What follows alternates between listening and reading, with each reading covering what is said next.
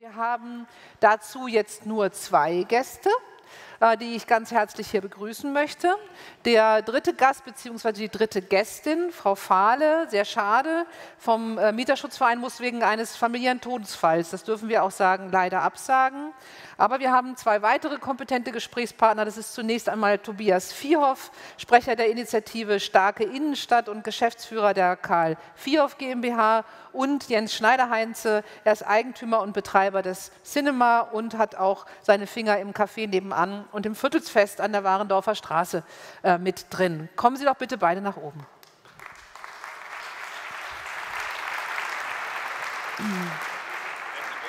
Nee, da ist wunderbar. Hier gerne links. Vierhoff, bitte direkt in die Mitte.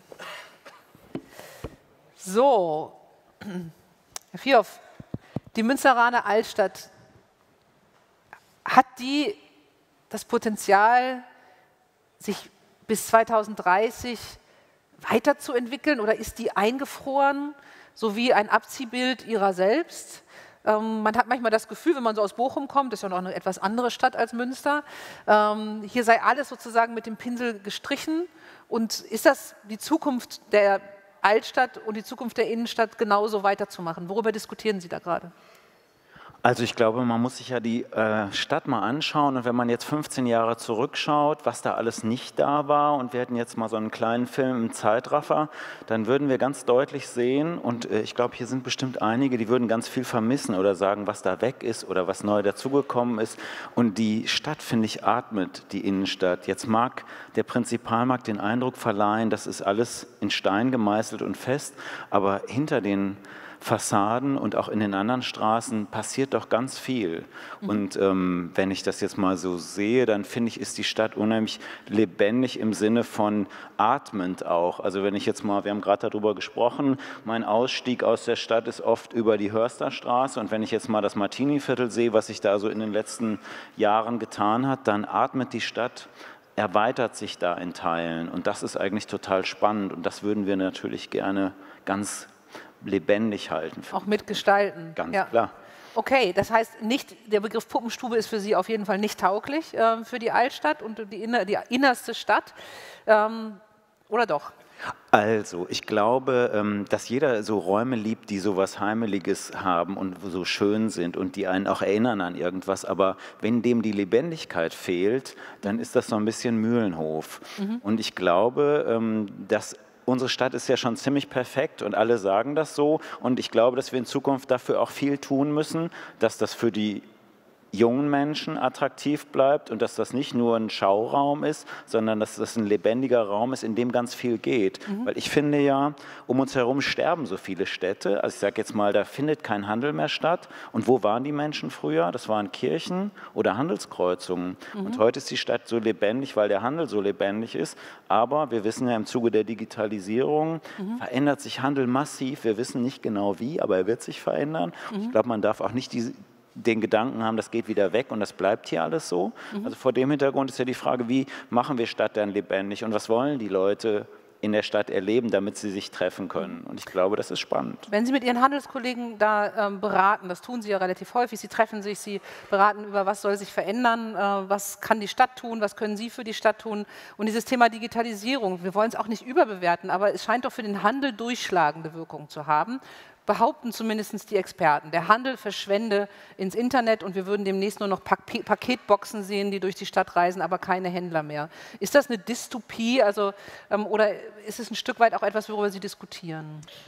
Es macht es ja immer schön einfach, in den Extremen zu reden. Und ich glaube, man muss dann genau hingucken. Und ich könnte jetzt eine halbe Stunde darüber erzählen, dass wir Menschen haben, die freuen sich, zu uns in den Laden zu kommen. Und die haben eine Verkäuferin, die sagt ihr ehrlich, dass sie in der Hose schlecht aussieht mhm. und dass sie doch lieber was anderes kaufen will. Und die freut sich, wenn sie die gleiche wieder sieht und die erlebt bei uns eine andere Persönlichkeit. Und ich glaube, ich gehe ja in die Stadt nicht, um einen Bedarf zu decken. Also ich möchte vielleicht jetzt schon nicht mehr losgehen, um meine ähm, normalen Dinge im Alltag zu kaufen, weil mich das Zeit kostet und ich keinen Spaß daran habe. Aber das, was der Handel in der Stadt ja abdecken muss, ist dieses Erleben. Und ich möchte ähm, was Besonderes sehen und ähm, ich möchte Menschen treffen treffen und ich möchte das zusammen zu einem besonderen Erlebnis machen, nämlich die Kultur und ich vielleicht auf dem Asien noch mit dem Boot fahren, mhm. dann gehe ich noch nachher essen und am Ende ist das so ein Gesamterlebnis Freizeit. Mhm, okay, jetzt haben Sie selber die Altstadt schon ausgeweitet an den Aasee und an die Ränder. Ich gebe jetzt mal weiter an Jens Schneider-Heinze.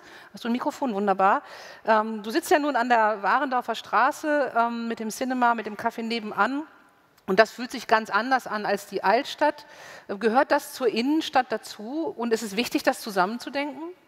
Ja, ich finde ja. Also ähm, aus mehreren Gründen. Zum einen glaube ich, ähm, dass wir ein sehr ähnliches Thema in, in so einem größeren ähm, Umfeld haben, äh, wenn es sag ich mal, um die Viertel geht, äh, die innenstädtisch sind.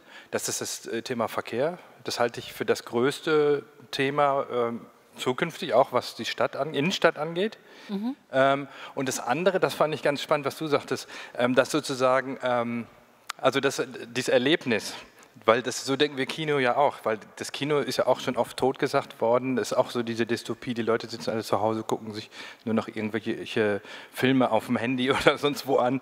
Und auch da gehen wir eigentlich hin und sagen, was ist, was ist sozusagen der Kern ähm, dieses Ortes Kino? Und das würde ich in der Hinsicht auf die Stadt, nicht auf den einzelnen Laden, sondern auf die Innenstadt ähm, und die äh, Innenstadtviertel beziehen. Da geht es um Begegnung. Es geht um Erlebnis, aber nicht, meiner Meinung nach nicht um Erlebnis im Sinne von Events.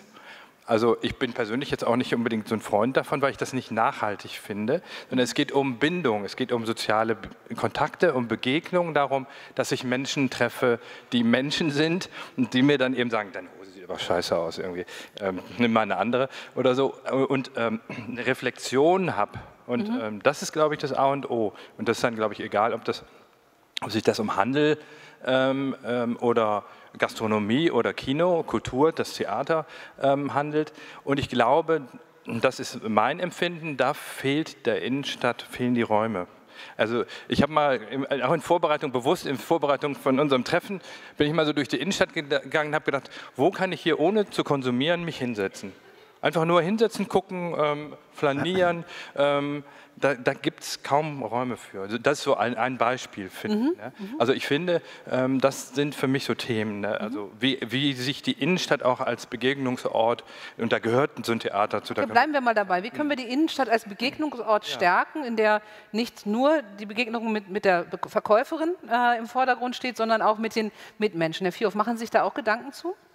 Ja, ich glaube, dass da ganz viel geht. Also wenn wir jetzt mal ähm, uns die Stadt angucken und fragen, wo sich die Hauptfrequenzen abspielen, und dann gehen Sie doch mal an die ganz tollen Plätze, die ganz viele Menschen gar nicht kennen, die die Stadt nicht gut kennen, sondern mhm. die gehen immer so wie die Ameisen ihre gewohnten Wege. Und äh, wir nennen das so gerne Inwertsetzung von Plätzen. Und dann mhm. lass uns da einfach was machen. Lass uns da was Neues machen. Und wenn ich natürlich mich jetzt frage, so was, was wollen die Menschen in 10, 20 Jahren, das ist ja ganz schwer. Ich finde immer, wir müssen das ausprobieren können. Wir mhm. müssen aus unseren gewohnten Faden raustreten und mal gucken, was geht. Mhm. Also ne, nicht alles auf dem Prinzipalmarkt, Aber sondern auch nochmal an den Nischen an den, und an den Ecken. Gerade an den Plätzen, weil da ja. macht es ähm, vielleicht nochmal besonders viel Spaß, die zu entdecken. Okay, das heißt, Prinzipalmarkt ist eigentlich ein Selbstläufer und jetzt nicht Selbstläufer muss ich weiter kümmern, aber das heißt, man sollte mal in die Nischen gehen. Ich bleibe aber nochmal, Jens ähm, Schneider-Heinze, bei diesem Thema. Ähm, das war einer der Sätze, die so im Zukunftsprozess mal gefallen sind. Äh, in der Münsteraner Altstadt, Altstadt jetzt wohlgemerkt, möchte man nicht arm sein. Ja, ähm, und da geht es ja auch nochmal um die Frage von Zusammenhalt. Ähm, ähm, was für Gedanken macht ihr euch dazu? Ja, das habe ich auch so als Thema im Kopf gehabt, weil ich, ähm, und das ist gar nicht böse gemeint, aber ich kenne wirklich Leute, die sagen, was soll ich in der Stadt, das kann ich mir eh nicht leisten. Also äh, sozusagen, ähm, die, die gar nicht das Geld haben, sage ich mal, da einzukaufen, die dann, ähm, also so schlecht ich das finde, dann irgendwelchen Billigläden irgendwas kaufen oder so. Ne? Mhm. Aber ähm, ich glaube, dass das andere Thema für mich ist so die, und das betrifft die Innenstadt wie auch sozusagen die darum liegenden Viertel, wie, wie das, wo wir sind mit dem Kino. Äh, das, die Mischung macht's. Das war so ein bisschen Thema ja auch bei der Wissenschaftsgruppe eben. Ähm, ich, also diese Campuslösung, diese reinen Gewerbegebiete, die reinen Wohnquartiere auch, das sind für mich nach meinem Empfinden tote Viertel. Mhm. Da ist dann genau so eine Kneipe, die irgendwo auf dem Staufenplatz ist, äh, ist Gold wert. Oder ähm, da sind eben genau diese Durchmischung. Ähm, äh, ich habe so gedacht, eine Idee zum Beispiel hatte ich. Wir haben äh, wir stellen ja eigentlich fest, dass sowohl die Gastronomie aus den Vierteln verschwindet in die sozusagen in die Eingangs, äh, in die, die äh, Durchgangsstraßen. Der nächste Prozess teilweise, dass sie von da aus wieder weiter verschwinden in Ausgehviertel. Mhm. Das heißt, die Gastronomie verschwindet aus der Fläche. Und das Gleiche haben wir mit kleinen Läden. Ja. Und genau diese kleinen Läden, die machen doch genau im Kreuzviertel gibt es das zum Teil noch. ich kann das nur sagen, hier bei uns im Viertel bis hin zum Hansa-Viertel verschwindet das zunehmend. Mhm. Das heißt, sie werden umgewandelt in Wohnungen, weil sich die keiner leisten kann oder wer weiß nicht was. Das wäre eine Frage, das zu analysieren. Aber das macht, finde ich, die Stärke von so Vierteln aus. Und das macht das, die Wohnqualität, die Lebensqualität aus, dass ich da um die Ecke gehen kann, da ist ein Kiosk oder da ist einer, der ein Architekt, wo ich durchs Fenster gucken kann oder mhm. ein Zeichner oder so. Und ähm, das finde ich wäre so ein Punkt, dass wir gucken, wie können wir äh, Steuerungs, weil das finde ich das A und O, wie kann die Kommune Steuerungselemente entwickeln, solche Prozesse zu, zu verändern, zu sagen, was wollen wir da eigentlich, wenn wir eine Mischung, eine Durchmischung wollen, wie können wir das erreichen? Mhm. Und das halte ich ähm, in der Innenstadt, ich glaube, dass oder das ist meine Utopie wäre, dass äh, irgendwann noch mal mehr Leute in der Innenstadt wohnen und genau dieses, dass die Innenstadt eigentlich größer wird von, von, von der okay. Denke. Ne? Das heißt, dass man sozusagen diesen Fokus shoppen hier, wohnen da und dann auch das Verschwinden, das hast du schön gesagt, Handels in der Fläche, mhm. versucht durch so eine wechselseitige Durchmischung irgendwie zu befördern. Ist das was äh, für die Händler? Weil ich meine, sie sind ja auf Zentralität angewiesen. Sie brauchen ja diese Ameisenstraße, äh, damit sie einen gewissen Umsatz auch machen. Aber ich glaube, die Leute wollen was entdecken. Also zu, der, zu so einer Handelsstadt, um das jetzt mal auf den Handel zu fokussieren, da gehören natürlich die großen Geschäfte und die großen Filialisten. Damit ich eine Orientierung habe, kriege ich das, was ich brauche oder was ich will.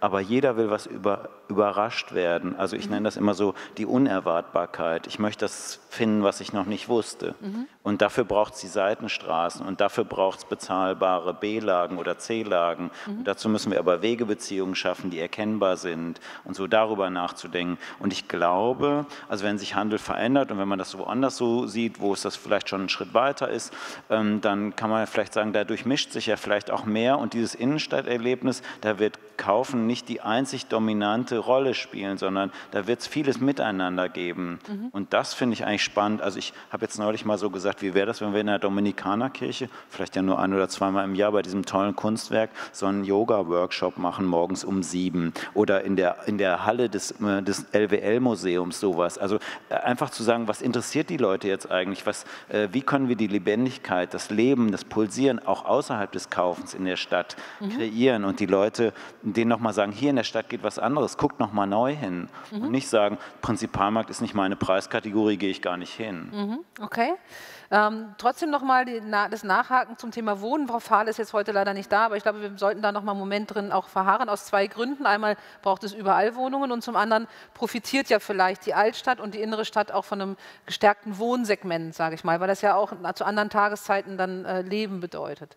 Ich wenn mhm. ich da gleich Gerne. rein darf, dann würde ich sagen, ähm, wir würden uns heute die Kinos alle wieder in die Innenstadt wünschen. Mhm. Wir würden uns auch die großen Banken und Versicherungen wieder in die Stadt wünschen, dass die Leute ihre Mittagszeit nämlich in der Stadt verbringen und nicht draußen in irgendeinem Arbeitsgebiet sitzen, wo dann so ein, so ein, äh, so ein äh, Truck kommt, der mhm. irgendwie geschmierte Brötchen verkauft.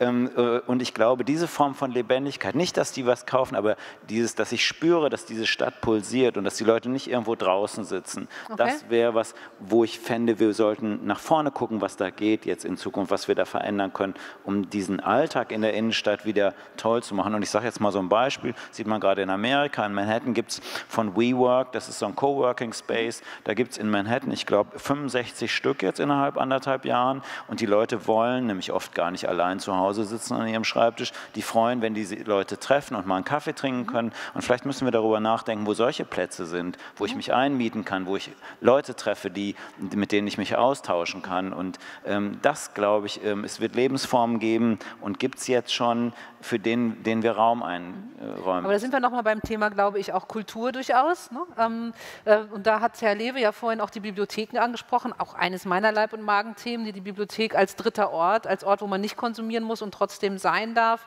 Ähm, was hältst du von der Idee, Jens, so auch die anderen womöglich dritte Orte zu öffnen? Man muss ja nicht unbedingt Yoga machen, also ich jedenfalls nicht, aber man kann ja auch andere Dinge tun. Ähm, äh, wäre das vielleicht eine Strategie, wo Münster vielleicht auch mal punkten könnte und sagen könnte, Münster verhält sich anders als andere Städte? Ich, ich glaube das schon. Also ich, ich, weiß gar nicht, ob sich Münster anders verhalten sollte. Ich glaube, ja. alle Städte sollten sich anders verhalten, habe ich den Eindruck. Ähm, ich finde, wir sind ja heute in so einer Lage, in der wir früher nicht waren. Heute, also früher wurde gesagt, was brauchen wir und wie machen wir das? Und heute haben wir eigentlich eine Dimension da drin, die wir früher nicht hatten. Wir, wenn wir das ernst nehmen, dann müssen wir uns auch überlegen, ähm, wie sieht es eben 2050 ne, aus? Das, mhm. äh, das ist das Thema Nachhaltigkeit, globale Erwärmung und, und, und. Das heißt, wie gestalte ich meine Stadt und ähm, das Leben, der, unser Leben letztendlich eigentlich, und das ist ja das, was du auch angesprochen hast, ne, dieses zer, zerrupfte Leben in verschiedene Räume, das, da sind wir wieder bei dieser räumlichen Bezüglichkeit. Wie kommen wir wieder dahin, dass das mehr eine Einheit wird? Ich glaube, dass also kann ich nur von mir sagen oder von vielen, von denen ich das mitkriege, dass dieses Bedürfnis schon recht groß ist. Und mhm. das ist ja auch das, woran die, äh, wo, wo die Viertel sehr stark sind, eben mhm. genau diese Bezüglichkeiten herzustellen. Oder das ist ja auch das, was wir beim Cinema versuchen mit diesem Nebenan oder dem Viertelfest, dass wir versuchen, die Leute, die da leben, zueinander zu bringen. So die, wir sagen immer, das Dorf in die Stadt holen. Und das ist eigentlich in Münster ja leicht, das Dorf in die Stadt zu holen. Sag ich jetzt sagen, böse. Aber muss man gar nicht mehr viel holen. nee, genau. Aber haben wir ja auch diese Land. Ja. Diese Land ähm, okay, aber ich versuche nochmal zusammenzufassen, vielleicht auch ja. so zum, zum, Schluss zu kommen bei unserem kleinen ähm, ähm, Intermezzo hier. Ähm, ich habe jetzt eine Herausforderung gehört, einmal der Verkehr also oder Mobilität im eigentlichen Sinne. Ähm, da würde mich schon noch mal interessieren, auch von Ihnen, es geht es dann nur um Erreichbarkeit oder geht es auch um Mobilitätsvermeidung? Dann das Thema Nachhaltigkeit, Klimawandel in der Innenstadt, Erwärmung ist natürlich nochmal ein Thema. Ich habe aus dem Publikum zugerufen bekommen, das fand ich auch nochmal wirklich interessant, die Frage, auch gerade für die Innenstadtlagen, also wenn man jetzt mal die innere Stadt nimmt und nicht nur Prinzipalmarkt, das Thema Älterwerden in der inneren Stadt, ist das ein Thema, was Sie äh, auch diskutieren? Und habe ich jetzt noch Themen vergessen, die man sozusagen auf die Agenda setzen sollte, Herr Vierf? Also die Digitalität, ähm, also Digitalisierung, die, äh, die, klingt ja immer so technisch. Ich würde das mal aus unserer Sicht nennen, so ähm, leicht zu erleben ähm, oder easy to shop. Also mhm. das sind eigentlich nur, ist das eine Technik, die uns das Erleben leichter machen soll. Mhm. Dafür muss sie dienen. Und da, glaube ich, gibt es ganz viele Ansätze, die das leichter macht. Also wenn wir da drauf gehen. Mhm. Bei der Mobilität muss ich sagen, da bin ich ja immer noch wieder erschrocken. Wir Münsteraner, wir merken das dann ja fast gar nicht, wie katastrophal die Erreichbarkeit der Stadt ist, wenn man das mal zu den Rush-Hour-Zeiten sieht oder auch mal Leute, wenn ich unsere Mitarbeiter sehe, wie schlecht die nach Hause kommen mhm. ähm, und wie, äh, wie löchrig eigentlich so ein Bus- und Bahnverkehr ist. Ich glaube, wenn wir so Hauptstadt des Münsterlandes sein, sein wollen und das ernst meinen mit dem, was um uns herum passiert, dann würde ich mir wünschen, wir tun da ganz viel für, dann, damit nämlich das Wohnen in Havigsbeck und Nienberge oder wo, wo dann kein Handel mehr ist, wo ich dann wirklich dann Innenstadt auch erleben kann und das mhm. auch erreichen kann, ohne dass ich mit dem Individualauto bis auf den Prinzipalmarkt fahre. Und ja. da Innenstadtmobilität, ich glaube, das wird ein spannender, spannendes Ringen um Lösungen. Die Leute müssen mit dem Auto bis in die Stadt kommen und ähm, ich sag mal, wir haben von der Initiative Initiative Starke Innenstadt gerade ein Beispiel vorgemacht. Am Coesfelder Kreuz haben wir das tolle neue Uniparkhaus aktivieren können, mhm. mit Hilfe der Universität und haben das offen gemacht und es wurde sofort angenommen. Und das zeigt, dass die Zeiten sich ändern. Früher hat man P&R verteufelt und hat gesagt, ach, das mache ich nicht, okay. ich fahre dahin. Und jetzt geht das auf einmal. Und ich glaube, diesen Mut zu haben, jetzt mal neu auszuprobieren, was geht jetzt, mhm. um es den Leuten einfacher zu machen, ihre Wege zu mhm. finden. Okay. Jens, habe ich noch was vergessen bei den Themen? Hm, ich würde zum Verkehr ergänzen. Ja. Ich, bin mir sicher, wir werden, also wenn ich jetzt so normales Alter erreiche, werde ich das noch erleben, ähm, dass der gesamte Innenstadtringverkehr autofrei wird, Individualverkehr autofrei wird. Und das, ich glaube, das ist genau der Punkt, diese Erreichbarkeit. diese Erreichbarkeit. Also weil wir, wir kommen da gar nicht drum rum. Wenn wir das ernst nehmen, dann haben wir keine Alternative. Auch die Viertel ersticken ja im Verkehr und ähm, alles, ähm, alles wird zugepflastert mit Autos und das, da nehmen wir uns so viel Lebensqualität eigentlich. Und ich glaube, diese Prozesse sind, würde ich jetzt so den Applaus auch äh, deuten, diese Prozesse sind ja im Gang bei uns allen. Also ne, mhm wir entwickeln uns ja zum Glück weiter. Ne? Okay. Aber ich glaube, ähm, also mir fällt jetzt nichts äh, ähm, ein, aber Was? ich glaube, die Stadt muss stärker steuern äh, in so eine Richtung, weil ohne diese Steuerungselemente, das ging auch um, um ähm, sozusagen, äh, wie heißt das, Liegenschafts, äh, äh, Liegenschaftspolitik, Management. Mhm sonst kriegen wir, weil wir haben einfach das Problem, und da, da leiden ja letztendlich die kleinen Händler in der Innenstadt auch drunter, dass wir leben in einem kapitalistischen System und da, das erleben wir massiv, dass die Kleinen eigentlich hinten rüberfallen, wenn wir da nicht was machen. Bin ich okay. überzeugt. Ganz herzlichen Dank Ihnen beiden. Ich glaube, das waren die wichtigsten Themen, die es für die innere Stadt und für die Innenstadt erstmal zu besprechen gibt. Und ich rede nochmal mit der Stadt darüber. Danke.